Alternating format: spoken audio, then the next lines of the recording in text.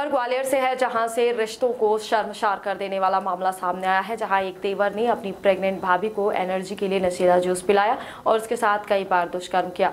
वहीं जब महिला को होश आया तो उसे एहसास हुआ कि उसके साथ गलत हुआ है। मामले की शिकायत महिला ने पति और सास से भी की, जिस पर पति ने कहा कि देवर के पैसों से पूरा घर चलता है, इतना तो सहन करना पड़ेगा।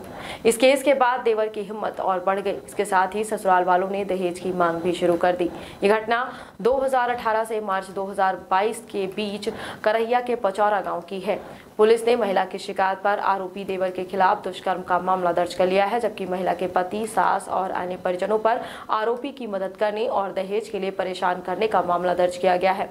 वहीं महिला की शादी 20 जून 2018 में भितरवार करहिया के पचौरा गाँव के रहने वाले युवक के साथ हुई थी। शादी के कुछ समय बाद ही महिला प्रेग्नेंट हो गई, जहाँ दो साल पहले उसका देवर उसके लिए जूस लाया। जहाँ जूस देने के बाद उसने उसके साथ दुष्कर्म किया।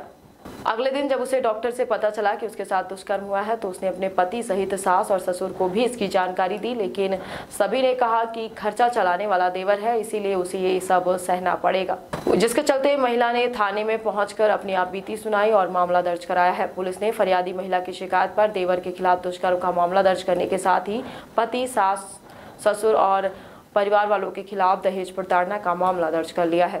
करिया में प्रकरण पंजीबद्ध किया गया है। एक विवाहित महिला ने अपने देवर के खिलाफ ये प्रकरण पंजीबद्ध कराया दहेज प्रताड़ना की बात उसने कही है, परिजनों के खिलाफ। उस पर प्रकरण पंजीबद्ध किया है। आरोपी की तलाश की जा रही है। प्रकरण व्यवस्था में कार्रवाई की जा रही है।